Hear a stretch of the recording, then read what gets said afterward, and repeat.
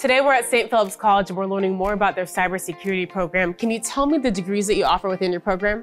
Yes, we have two distinct degrees. One of them is cybersecurity specialist, AAS degree, and the second one is network administrator, which is an AAS degree. Now, what separates those two in the network administrator job or degree, you are learning about servers and networking. In the cybersecurity degree, you're learning more about penetration, about intrusion, about securing your network but they're both AAS degrees. That's incredible. And what about the pay rates? What's the potential starting?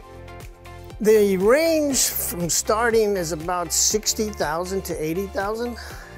And then the potential moving from there as you grow in the industry and you get more certifications, then you're going to go from 80 to 120 to 135. How long does it typically take a student to complete this course?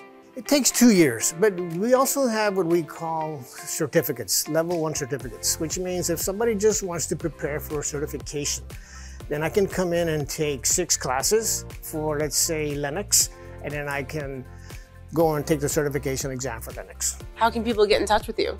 Just go to St. Philip's College at alamo.edu and look at the IT program, or they can contact me directly, the IT program director. Just Google me, it'll come up, and my phone number at my office is 210-486-2366 or my email is rlopezjr2 at alamo.edu. Thanks so much. You're welcome.